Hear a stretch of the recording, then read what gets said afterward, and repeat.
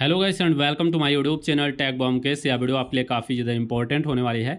Finally इस video में आपको बताने वाले हैं कि आप अपने Vivo T three X five G के फ़ोन में आप वीडियो कॉल की रिकॉर्डिंग करना चाहते हैं तो आप वीडियो कॉल की रिकॉर्डिंग कैसे करेंगे? तो चलिए आपको इस वीडियो में बताने वाले हैं आप वीडियो कॉल रिकॉर्ड कैसे करेंगे। सबसे पहले तो आपको अपने नोटिफिकेशन पैनल को स्लाइड करना होता है।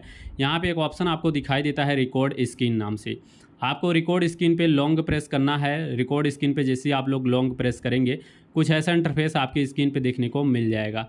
अब दोस्तों, यहाँ पे आप देख पाएँगे, आपको यहाँ पे रिकॉर्ड स्क्रीन पे लॉन्ग प्रेस करने के बाद इसकी सेटिंग करने का ऑप्शन मिलता है। रिकॉर्ड साउंड में आपको सिस्टम का साउंड माइक्रोफोन का या सिस्टम एंड माइक्रोफोन दोनों का रिकॉर्ड करना यहाँ पे चूज़ कर लेना है।